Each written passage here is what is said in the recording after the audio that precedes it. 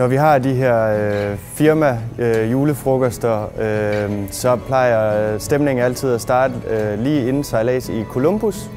øh, hvor efter de øh, så kommer ud i restauranterne, lige øh, får lidt til ganen, og så ellers så øh, kommer de op til os igen i Columbus, fortsætter festen, hygger sig til øh, vores liveband, kommer ud og øh, danser lidt på gulvet, og ellers så rykker de efterfølgende op i øh, vores øh, kære natklub,